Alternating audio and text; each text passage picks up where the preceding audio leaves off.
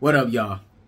Mr. Mars Sharp, Shortman Filmwerks in the building. All right, so right now I'm about to give y'all my Rocky 5 video. And as y'all are about to see with this video, that it's a little bit older. It's about two years old. And I was actually digging through all of my video files. And I actually found this video because I forgot that I had did this video when I was back at my other spot. And it just totally slipped my mind that I had this video, which made me want to go back to doing my videos on the Rocky movies. So as promised, here's Rocky 5. It's a little bit older. I was still in my infancy, infancy stages of doing these videos. So y'all gonna might y'all might see some differences in this video than, than y'all see with me now. So um, as promised, here we go. Rocky 5. Y'all enjoy.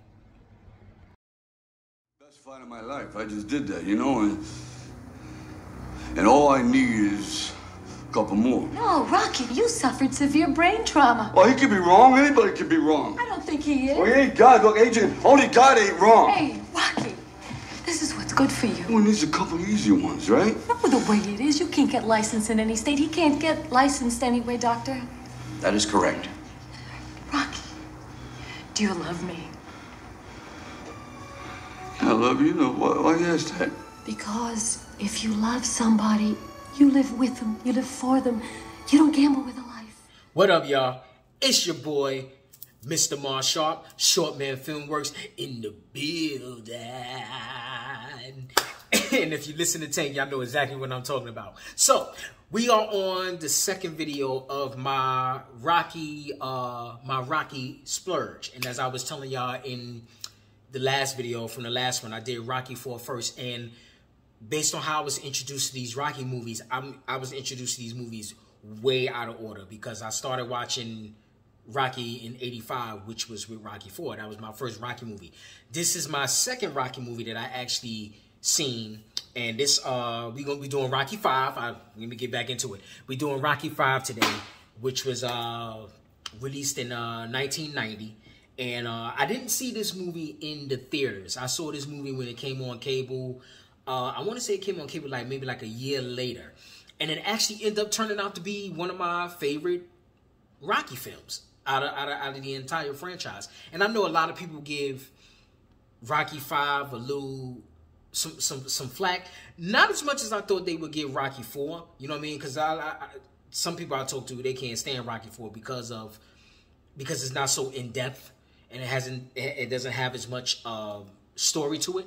But um I also hear that about this one too. Like a lot of people really didn't Rocky didn't did Rocky really didn't like Rocky Five as much as they did um, one, two, and, and, and, three. Me personally, I liked Rocky, and I, I liked Rocky Five, and I think for me, I like this movie so much because of the nostalgic feel I have for this movie because I saw it when I was 11, and coming off of Rocky Four, going into this movie, uh you know, I just I, I don't know, I, I just think, I just think for me, it just, I just got so many different memories with this, with this particular, with this particular film. You know what I'm saying of, of being young and and and being the age that I actually seen this movie. Now, don't get me wrong, I had seen Rocky one, two, and three during this time span, but never to the point where uh, where I actually um really really looked at it in a way where it was like, okay I looked at it, studied the movies, really put myself into the movies as I did with Rocky 4.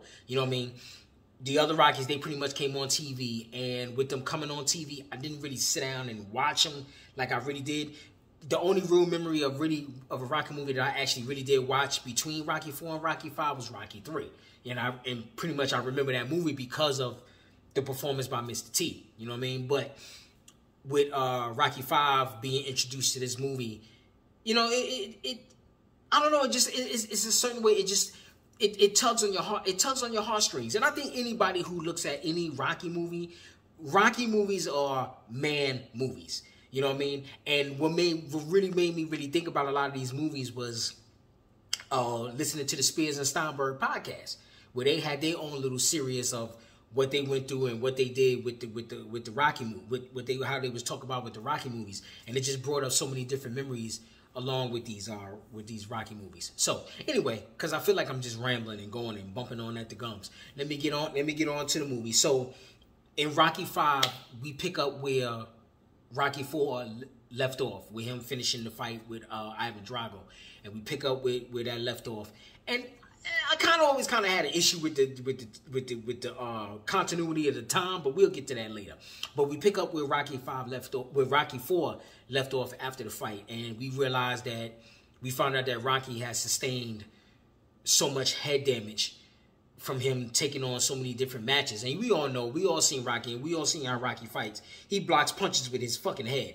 So we already know how that goes. You know what I mean? So in the movie, you see that all of those head punches actually takes his toll. And, you know, doctors are telling him that, you know, if you take one more fatal blow, you know, this is, is it, you know, you, you pretty much gonna end up an invalid, you know, brain damage and you'll get a whole bunch of other you know medical issues that's go, that's going that can go along with the uh with the with the facts of being brain damaged you know what i mean so we see in the movie that rocky does retire he retires and we find out that his accountant pretty much mis, mis mismanaged his money also too with a deal with Paulie because Paulie got his own little things going on in the film. You know what I mean? Paulie always I don't want to say Paulie has always been that shitty character. He's always had his he's always had his own gripes and his own issues going on in the movie. But in this particular in this particular uh, uh, situation, he mismanages the money. He gives power attorney to the accountant, and the accountant just pretty much just runs through all the money and just just just just just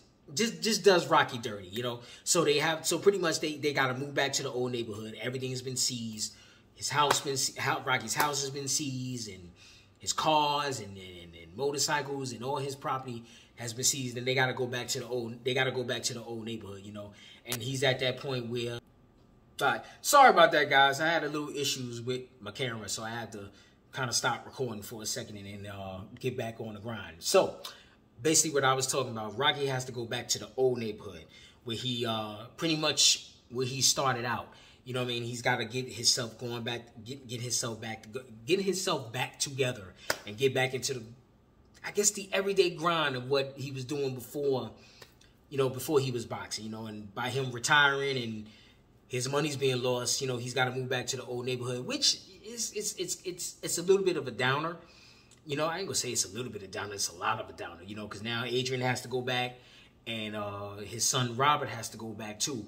But he Robert didn't grow up in that neighborhood, so without him without him growing up in that hoodish type of environment, he's uh, he's new to it all. You know what I mean? He's excuse me, he has his struggles of dealing with the new type of lifestyle, you know. And Rocky has his struggles too of going through it and and and and being where he once was, and now he has to go back to this. Uh, he has to go back to how he started. You know what I mean? And we get down to it where you know he kind of has a little bit more life rejuvenated to him when he meets Tommy Gunn, and he meets Tommy Gunn, and Tommy Gunn is this young up and comer, uh, up and coming boxer, and he he comes to Rocky uh, to be a, a, a, tutor of sorts in the beginning of when they, of their first meeting. He's kind of like, okay, you know, I want you to you know to train me, I want you to check me out, and I want you to see what I got. And Rocky's a little bit hesitant to take him on because he's like, you know, I'm not no, I'm not a manager, you know, I'm a fighter, you know, and I'm not really. It's not it's not my lane, you know what I mean. So he makes the after a while after seeing Tommy fight, he makes the decision to actually take him on and actually uh, takes on the, the the, the the role of being his trainer and being his manager. And as you see, Rocky develops this relationship with Tommy Gunn all at the same time while neglecting his son, which he should be passing on the knowledge of boxing to his son, you know what I'm saying? But with that going on, you see like with Rocky, it's kind of like his way of being in the ring without him being in the ring, you know, along along with Tommy Gunn. And then, you know, Tommy keeps going, he's fighting, he's fighting, and he gets to the status of where he's kind he's kind of asking for this he's asking for this title shot. And as he asking for this title shot, you know, Rocky's still trying to groom him, kind of trying to groom him the way Rick, the way Mickey did him. Mickey kind of took him under his wing and worked him slowly. He worked him slowly and let him build up to the type to the to the, to the title shot the way he wanted to have him build up to the title shot, you know. And then all the while you have this promoter by the way by the name of Duke, played by uh, Richard Gant. But like I said, I'm gonna get to all that later. You got Duke who's kind of Don. He got like a Don King pers persona along with him, and you know he's he's he's fast talking, he's quick talking. And at first he tries to get Rocky to jump back in the ring, And when he sees that that doesn't work, he figures he figures, okay, well, you know, I can come after Tommy Gunn to kind of hook Balboa on what I want on what I want him to do. You know what I mean? So pretty much Duke Duke, Duke is, is about the money. He's about the money.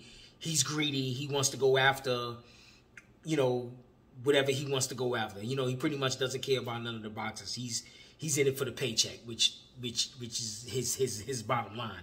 You know, so uh with that with that with that going on, you know, Rocky is losing his his relationship. He's losing his relationship to his son. He's kind of he's getting out of touch because he's putting more of his of his of his of his attention, time and attention into into into Tommy Gunn until he realizes, you know, I don't want to say Tommy Gunn is is is a snake in this movie, but you know, once Duke gets in his ear, it kind of makes him be like, okay, well, I don't want to go. I don't want to. I don't want to go the same. I don't want to not to say the same route, but I don't want to be under Rocky's shadow anymore. Because a lot of times in the movie, Tommy Gunn is referred to as Rocky's robot or Rocky's shadow. You know what I mean? And he it starts to get to the point where he's like, you know, everybody's calling me your shadow. Everybody's calling me your robot. This is not, you know, how I envision myself.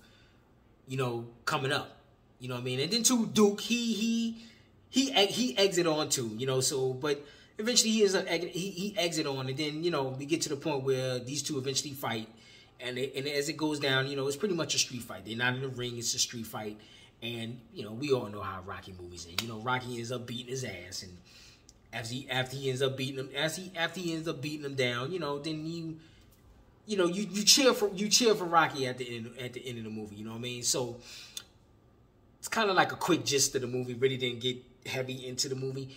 Um, like I said, man, I liked I liked Rocky Five because it was more. I don't want to say it, all the Rockies are, are emotional, man. You you can't help but to really get involved into the story a lot, you know. And I feel like with this one, yeah, I agree with a lot of people saying about Rocky Four, but still, I, I love Rocky. I still love Rocky Four, even to this day. I still love that movie. Movie, but with Rocky Five, you got more meat on the bones. You know what I mean? You see how Rocky is dealing with the fact that he lost all his money and how he's dealing with the relationship with his son, how they're tight in the, in the beginning of uh, in the beginning of the movie, and then as we get toward the middle of the movie, they kind of break apart. They break apart because Rocky's putting so much time and attention into Tommy Gunn, which is leaving his son kind of defend for himself. You know what I mean? And then as he's fending for himself, you know, Rocky's dealing with the fact that, you know, back in the neighborhood. You know, this is not really what I want to do. He meets Tommy Gunn, and as he meets Tommy Gunn, it's his way of actually being in being in the ring again. So it it was more it was more to the, it was more to the story. And like I said, I think a lot of people give this movie a hard way to go, which I don't know why. I really don't know why a lot of people don't like this one, and I don't know. I, I can't put my finger on it because, like I said, I love all the Rocky movies. The first one is probably my least favorite, but I love all the Rocky movies. You know what I mean? And just, just, just, just for the story and just the overall humanity of it. You know what I mean? And I feel like you know Sylvester Stallone did a great job. You know, being right. Well, it's just his character. You know, it's his character, and I feel like he did a great job conveying a lot of the emotion of what Rocky is going through as he's as he's going coming coming through this time in his life. and I think it comes across. I think it comes across well on the screen. You know, I love Sylvester Stallone performances, and since I'm going into the acting, I might as well just go in and go right on into it. Um, I love Sylvester Stallone's performance as Rocky as he's coming along and he's getting older and he's seeing the changes and all the things that's coming in front of his face. You know what I mean? So I, I enjoy Sylvester Stallone's performance. Uh, Talia Shire, who plays Adrian, and you see her you see her blossom as she goes along too. But I feel like now Adrian is at a point where she's she's Rocky's rock. You know, she's his foundation. She's his she's his reason for doing a lot of the things that he does. You know, and you can see a lot of the interaction between. Um, you can see a lot of interaction between Rocky and, and, and Adrian, and just the little subtle nuances that that that Talia that that Talia Shire does and Sylvester Stallone is little small nuances that they do that makes you be like, wow, you know, they really are in each other's corner. You know what I mean? Just you know, when the doctor tells him he can't box anymore, he he pulls Adrian in and he he whispers something to her. You don't know what he's talking to her about, but you know it's it's them two together. And he tells her what he has to tell her, and they back away, and, and, and she looks at him, and he gives her like a little head nod, letting her know like, okay, hey, listen, we need to keep this on, you know, we need to keep this quiet. And she's speaking for him, she's talking for him, but she's like, you know, we need to keep this quiet. Can this not get out? You know what I mean? And she's always Adrian has always been that that that anchor for Rocky. When he gets thrown off, she's always been that that that that anchor that pulls him back to reality. You know, she's she's been like that in all she's been like that in all the movies. You know what I mean? She was like that in Rocky 2. In, in Rocky 2 when she was pregnant and she was sick and she tells him to go out there and, and fight the fight. When he's having trouble with Mickey Don in the third one. And, you know, she tells him, you know, pretty much get your shit together. You know, we all, you know, we all afraid. Pretty much she breaks him down in four she kind of tells him, you know, you can't win. And he's kind of like, eh, I still got to do it anyway. But then she shows up to Russia for the training. And now she's in this movie letting him know, like, hey, listen, you know, you know, you put your heart and soul into Tommy. You're not in the ring. You didn't fight Tommy. You didn't fight with Tommy in the ring. You beat him. You beat him. With, you beat him with heart, not muscle.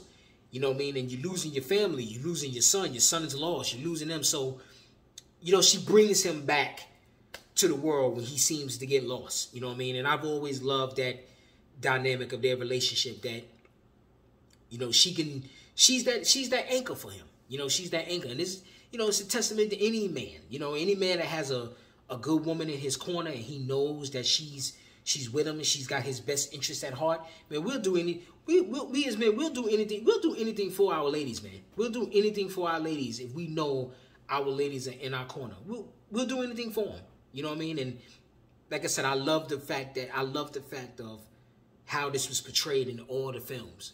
You know how Adrian is such a pivotal, such a pivotal character for for for Rocky. You know, it's almost like you know, there's no Adrian, there's no there's no Rocky without Adrian. You know, and and and that's that's been conveyed in all the movies, even from the first moment he met her.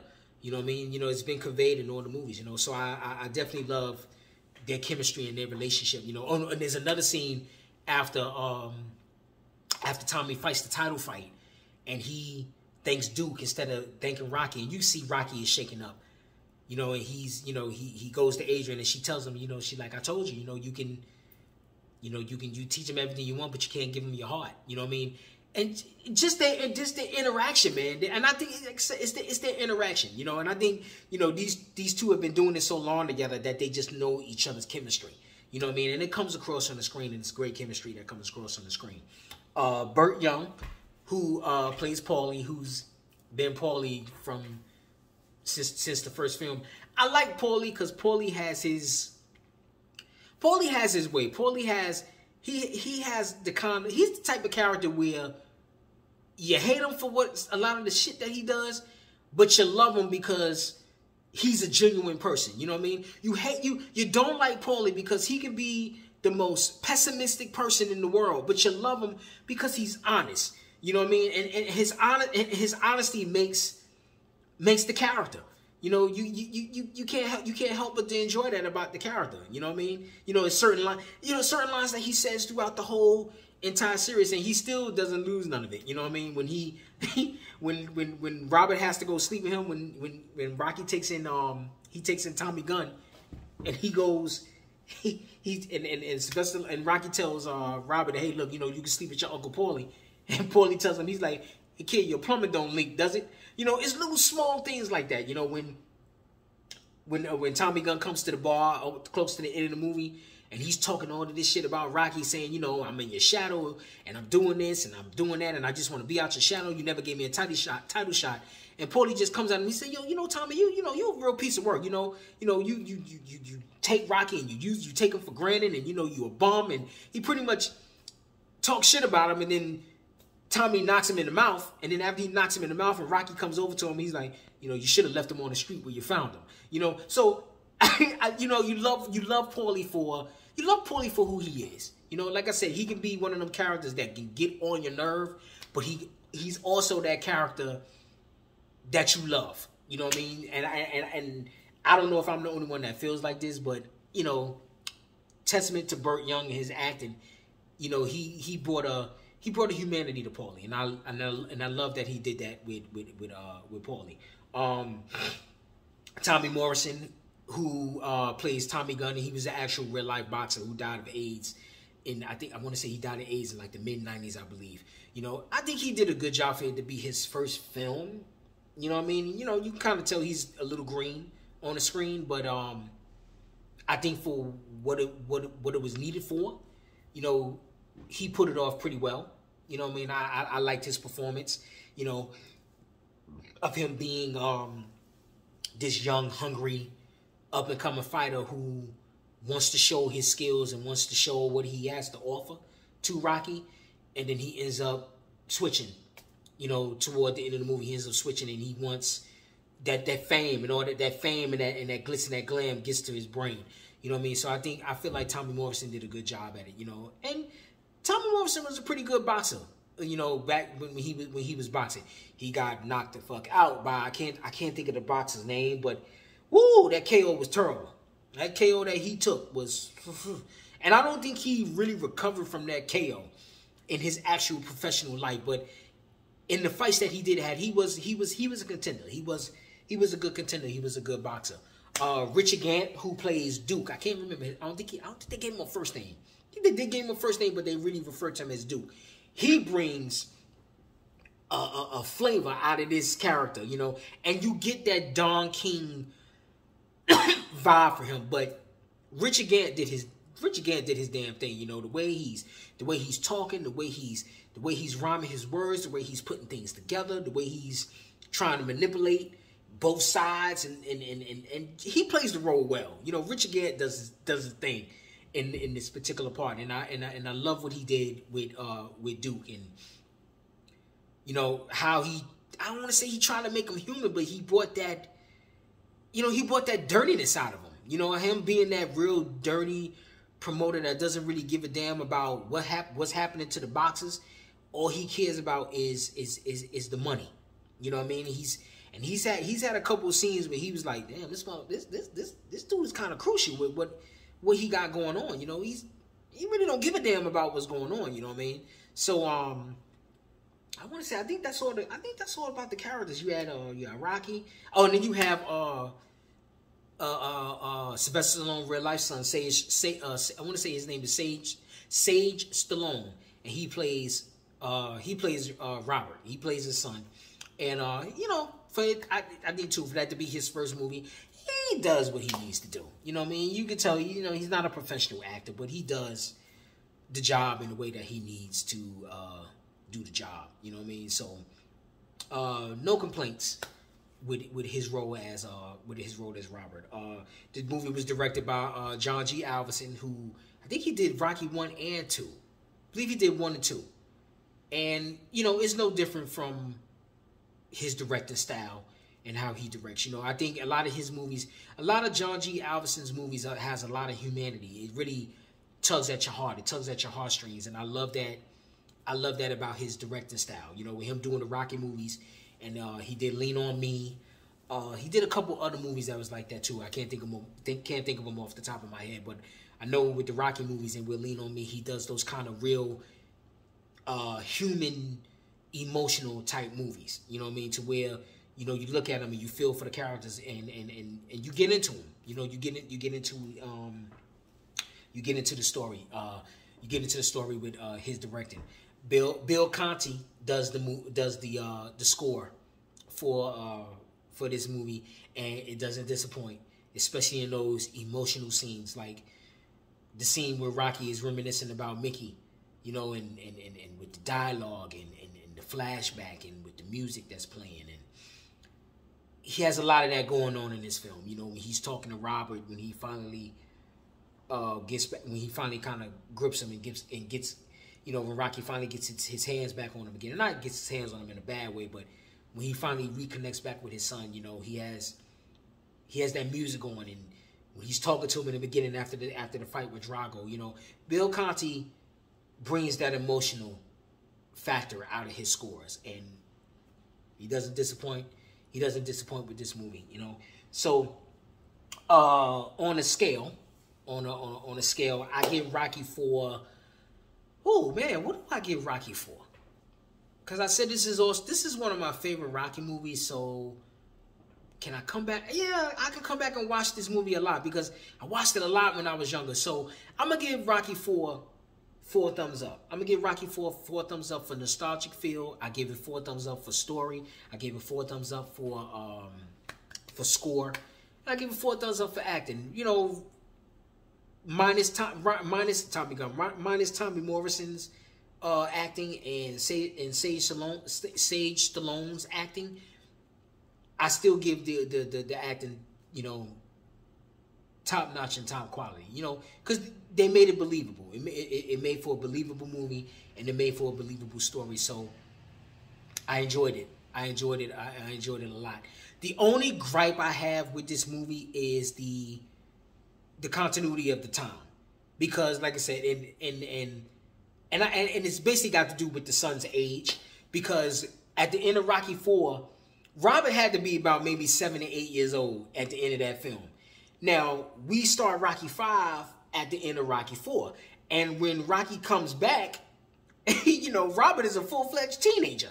Robert has to be about at least 12, 13 years old in this movie. Now I don't know if and I, you know, you you you try to give it the benefit of the doubt. I said, okay, well maybe he been in Russia for a couple of years, or maybe in Rocky Four he was supposed to be a little bit older, but they couldn't find a kid to play his age. It, it, it, didn't it didn't work out. You know what I'm saying? But it's kind of like it's one of them things where it's like, okay, it's a Rocky movie. It's we can forgive that part. We all know that he went through some wild ass age transformation from one movie to the next. But you know, you you you can't you disregard it. You skip it, you disregard it, and you go on you go on with the story. You know what I mean? Because like I said, it's like everything happens back to back. You know, and then you know my brain and, and you know my writer's brain. I'm trying to give it the benefit of the doubt and saying, okay, well maybe in the events of the move of the of the movie, maybe a whole lot of time went past. You know, he spent a little bit more time in Russia, but he ain't spent years in Russia. You know what I mean? So you gotta, you gotta, gotta, you gotta kind of go along with the suspension of disbelief. You know what I mean? So it is what it is. So like I said, man, I'm giving this movie four thumbs up, and uh, that's my review on Rocky Five. Right? So like, comment, subscribe to the channel. Uh, we did Rocky 4, we did Rocky 5, so now I'm going to go to Rocky 2 because that was the next movie, next Rocky movie that I really related to more and that's really the next Rocky movie that I really have memories have memories with. So like I said, a lot of my seeing Rocky has been way out of order since I first seen it, but that's gonna be the next one that we're gonna uh, we're gonna talk about. We're gonna talk about Rocky 2 next. So as I said, stay tuned. Stay tuned for the next reviews. I'm Mr. Mar Sharp. This is Short Shortman Filmwerks, and these are the Everyday Man's Film Reviews. I will see y'all on the next one, and y'all take care.